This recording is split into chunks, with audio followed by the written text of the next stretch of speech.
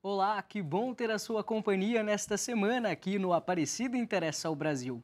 A família dos devotos constrói com amor o Santuário Nacional e ajuda a Rede Aparecida de Comunicação em sua missão evangelizadora. Se una nós, ligue no 0300 210 1210 ou acesse a12.com barra Família dos Devotos e evangelize conosco.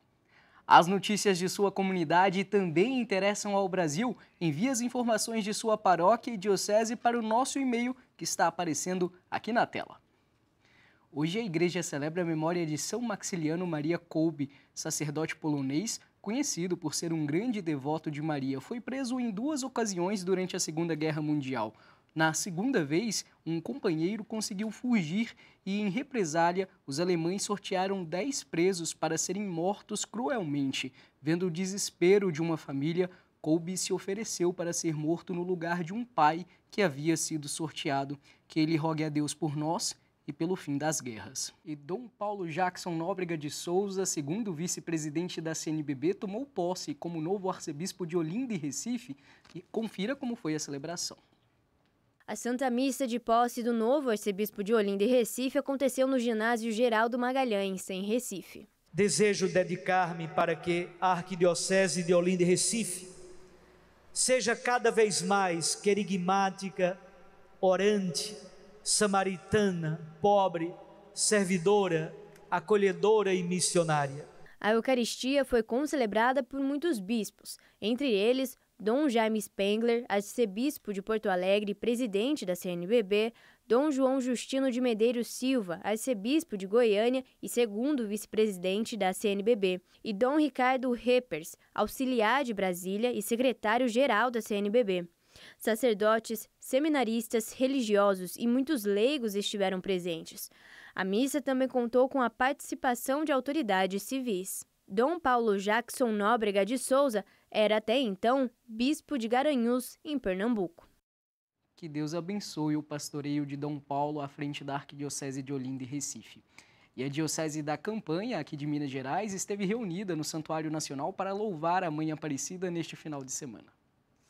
Os fiéis, leigos e consagrados, juntamente com o bispo diocesano da Campanha, Dom Pedro Cunha Cruz, peregrinaram à casa da rainha e padroeira do Brasil para agradecer por benefícios e graças recebidas. Ajude-nos, querida mãe, a discernir e responder concretamente ao chamado de vosso filho. E neste ano vocacional, a reconhecermos e fortalecermos nossa consciência do discipulado missionário de todos os batizados e batizadas. A peregrinação teve como tema com o coração ardendo, colocamos nossos pés a caminho rumo à casa da Mãe Aparecida. O povo mineiro sempre fazendo uma bonita festa aqui em Aparecida. E a festa da padroeira do Brasil já se aproxima e no sábado, dia 12, celebramos mais um dia oracional mariano.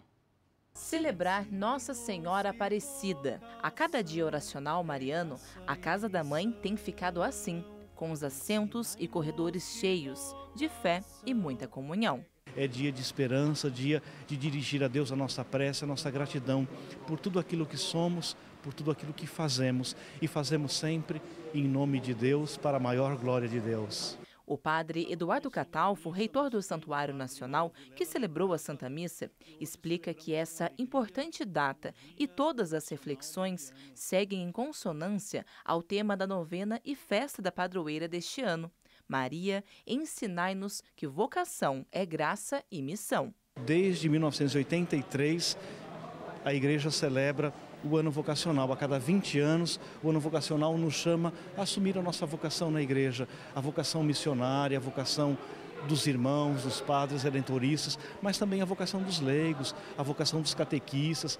Todos nós temos uma vocação e é esse o tema da nossa novena. Nós queremos celebrar a vocação que Deus nos dirige, o chamado que Deus nos dirige. O missionário redentorista Padre Mauro Vilela, animador da Santa Missa, ressaltou a alegria e a expectativa para a novena da Rainha do Brasil, momento que também reforça o trabalho missionário. Nós queremos, com o projeto Aparecida pelo Brasil, é, levar um projeto missionário para todo o nosso país O projeto Aparecida pelo Brasil, ele nasceu com a necessidade da gente difundir mais o Evangelho, de chegar às pessoas, de uma igreja em saída, de uma igreja que vai até as pessoas. Por isso nós contamos com os nossos colaboradores leigos, que chamamos representantes da nossa querida família dos devotos. É bom ser família dos devotos, porque ser família dos devotos é ser uma família missionária. Em comunhão com o terceiro ano vocacional e a quinquagésima semana que se inicia, as capelinhas são enviadas mais uma vez para as paróquias pelos representantes da família dos devotos, reforçando a comunhão e também os preparativos para a novena e a festa da padroeira do Brasil. Muito lindo, não? Porque todo mundo quer. Todo mundo quer. Então, leva ela para mim, nem que seja um dia, leva para mim. Muitos agradecimentos, como do Valdeci, de Capelinha, Minas Gerais, que levará a Capelinha para a sua paróquia. Esta é a 24ª vez que vem ao santuário mas desta vez com um sentimento diferente por ser o dia oracional mariano. Recebi o chamado, o chamado veio, estou levando a capelinha. Na homilia, Padre Eduardo Catalfo falou sobre graça e vocações como presentes de Deus em nossas vidas e a caridade como um gesto concreto para todos. E todos nós que amamos a igreja, vivemos para servir a Deus, para fazer o bem. A caridade deve ser sempre o gesto concreto das nossas vidas. Viva Senhora Aparecida! Viva a padroeira do Brasil! Viva a família dos devotos! E viva Jesus Cristo! Vocação é graça. Em consonância com o terceiro ano vocacional, teve início com a celebração deste domingo no altar central do Santuário Nacional, a 54ª Semana Vocacional, promovida pelo Secretariado Vocacional Redentorista. Vamos ver como foi. Confiantes na missão que é graça, mas também requer vocação, os missionários redentoristas celebraram durante a missa das 18 horas deste domingo um momento importante para os vocacionados. Já é a 54ª edição da Semana Vocacional aqui em Aparecida, uma extensa programação durante toda a semana, celebrações aqui no Santuário Nacional, mas uma programação exclusiva e dedicada na Rede Aparecida de Comunicação, na rádio e na TV, além de parcerias com o Portal A12. A celebração eucarística que marcou a noite foi presidida pelo superior provincial, Padre Marlos Aurélio, e contou ainda com a presença dos devotos de Nossa Senhora Aparecida, religiosos e religiosas, sacerdotes e seminaristas da congregação do Santíssimo Redentor. Creio que toda a igreja do Brasil se mobilizou para isso, né? despertar no coração dos jovens essa necessidade de darmos uma resposta generosa a Deus que continua, é, continua a chamar, a convidar os jovens né, a participarem da sua obra. E, sobretudo, uma conscientização também para a própria igreja, né? Do quanto é importante cada um descobrir o seu lugar, a sua vocação, porque quando se fala de vocação não é exclusivamente para a vida consagrada, a vida presbiteral, mas são todos os serviços, ministérios que a igreja requer, pessoas com disponibilidade, com generosidade para servir. Porque, em última instância, a vocação é sim um serviço que nós prestamos aos nossos irmãos e irmãs. E o povo de Deus reconhece.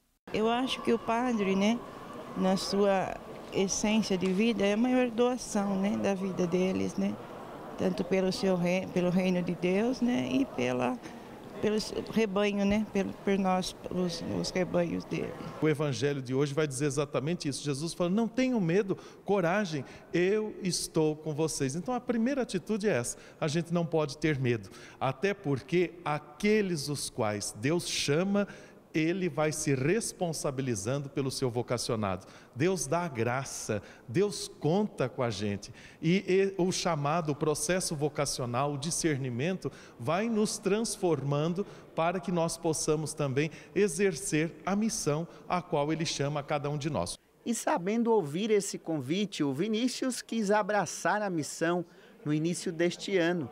Diz que esta semana é importante para oração e discernimento principalmente para poder discernir a minha vocação, discernir o meu chamado e ao mesmo tempo incentivar tanto jovens a dar o seu sim com alegria. Despertar a vocação, seja ela qual for, é uma proposta interessante da Semana Vocacional. Este ano, o tema Vocação e Graça reflete o Evangelho de Marcos e está em consonância com o tema do ano vocacional: vocação, graça e missão. Texto bíblico iluminador dessa semana vocacional, no mês das vocações, no ano vocacional. Olha quanta bênção, gente, para dizer que vocação é graça, é para uma missão. E diz exatamente isso do Evangelho de São Marcos. Jesus chama os que ele quer para estar com ele e envia. Então, não temos o que temer. E quem quer anunciar o reino de Deus é exatamente para isso, né? para levar a boa nova, para ajudar as pessoas